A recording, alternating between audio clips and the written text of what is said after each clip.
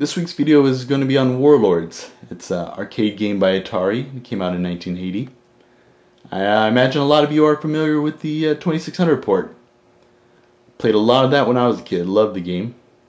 And uh, basically this is the same premise. You have the four castles in each corner. And uh, the goal is to last longer than anyone else.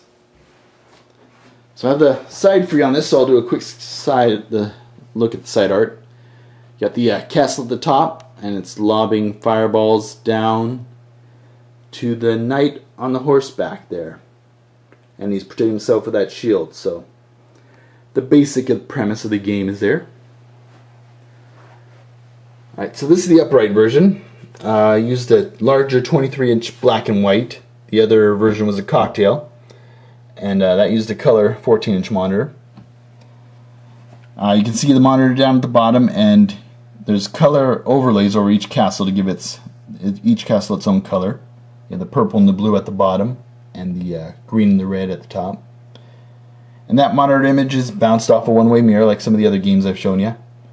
And uh, it's done that way so you can see the, the backdrop. There's a 3D backdrop of castle walls and that middle ground there. And it's done that way so it looks like the uh, your characters are actually sitting on top of the castle. And it's kind of a cool effect. A lot of people seem to be drawn to this game because of it. And it's a fun game too. the control panel is uh, fairly simple. You have two people can play at the same time at this game. So you have two spinners, uh, left and right movement. And you have the start button, and that's actually also allows you to grab the fireball when you're in the game. And I'll show you that when I get to that point. And let's see, I'll show you the Warlord's Creed too. And I fear it may sound like I'm reciting poetry to you, but I'll say it anyway. Let's see. There be warlords of brawn and might, defending their crown of gold. Beware the greed of the Black Knight, a power-hungry foe. The dragons spit their fireballs, warriors hold up your shields. Tis time to protect your castle walls until the Black Knight yields. So, it's kind of a neat little saying. Add something to the game. And, uh, well, I guess really that's about it. I'll just get into a game and show you that. So I'm going to be the, uh, the blue castle, the one in the lower right hand corner.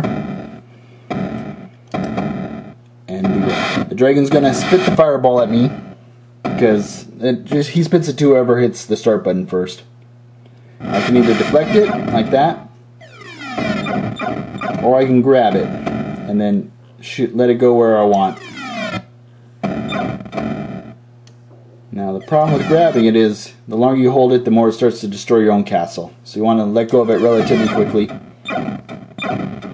And it seems if you hold it too long the, the fire the second fireball comes out even faster.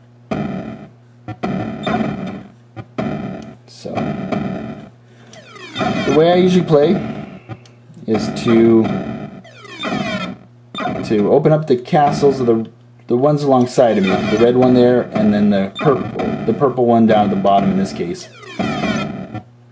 and then go after the green.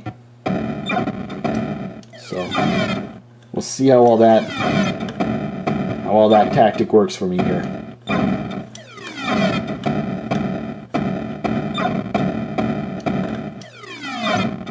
Not a lot to talk about. In this one, you just try not to get your castle destroyed. I'll try to speed it up a bit. If I kill the other castle, more fireballs will come out. Makes it a little more hectic, a little faster. It's just me and the green one. The epic battle. Let's see who wins.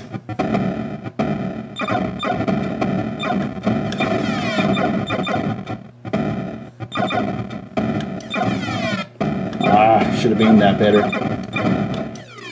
Got him. Now I go to level 2, where they're a little faster, a little harder to lure away from their their sides.